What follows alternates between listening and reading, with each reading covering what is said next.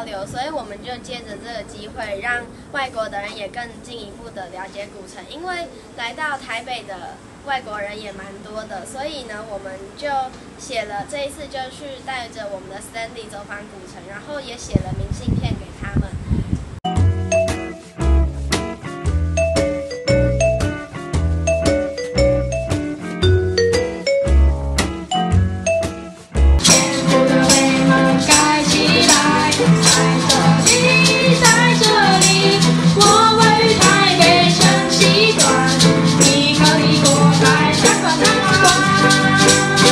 让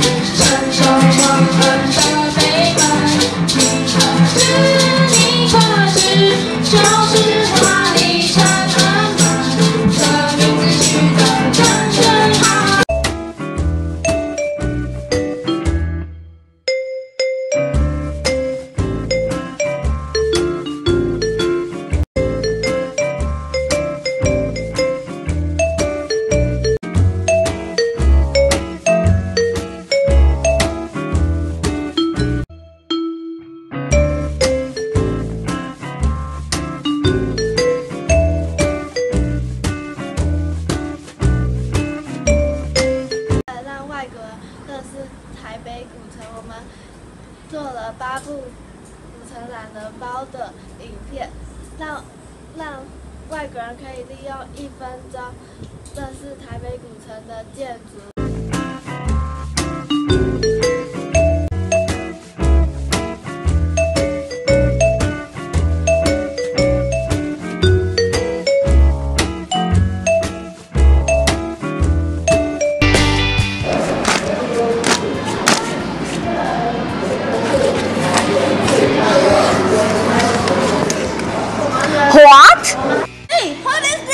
This? This is a time capsule. Time capsule? Let's start. Ha ha ha! I'm the oldest gate. I'm the youngest gate. I'm the south gate.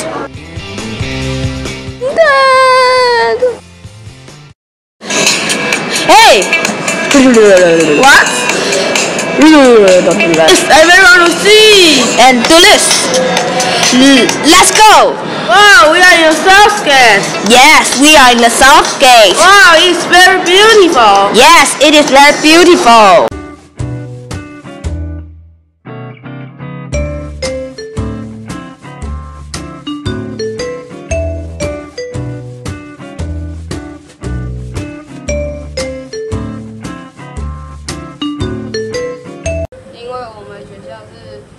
台北古城内唯一的小学，所以常常会有外宾来访，然后我们都会借由这机会推广给他们。